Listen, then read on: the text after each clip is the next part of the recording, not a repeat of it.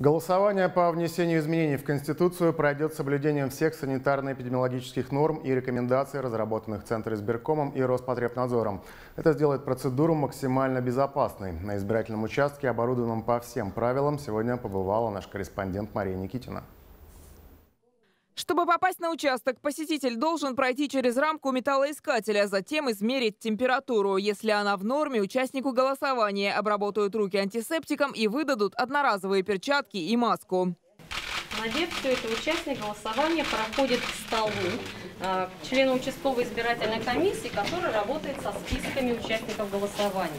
Обратите внимание, что расстояние между участником голосования и членом участковой избирательной комиссии полтора метра. Гражданин предъявляет паспорт на расстоянии, член комиссии сверяет данные со списком и под роспись выдает избирателю одноразовую ручку и бюллетень. Затем в кабинку для голосования. Они на этот раз выглядят иначе.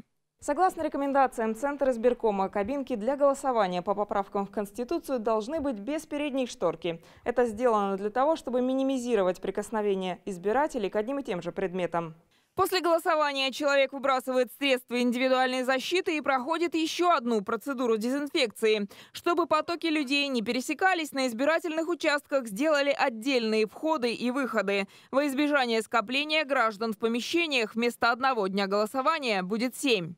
Порядком проведения э, общероссийского голосования предусмотрена возможность растянуть на 7 дней, то есть с 25 по 30 до дня голосования и в сам день голосования, э, возможность проголосовать. Соответственно, до дня голосования, вот с 25 числа, участковые комиссии будут готовы как э, предоставить возможность проголосовать в помещении для голосования, так и вне помещения. Тем, кто по той или иной причине не сможет прийти на избирательный участок, дадут возможность отдать свой голос бесконтактно, на дому. Если участник голосования по какой-либо причине не может прибыть на участок, он может подать заявление о голосовании вне помещения, лично или через других лиц.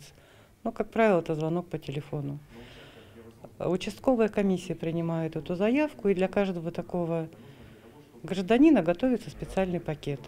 В него вкладывают бюллетень, заявление, индивидуальную ручку, бактерицидную салфетку, перчатки и маску. Член участковой избирательной комиссии в защитной одежде передает гражданину пакет, не заходя в квартиру.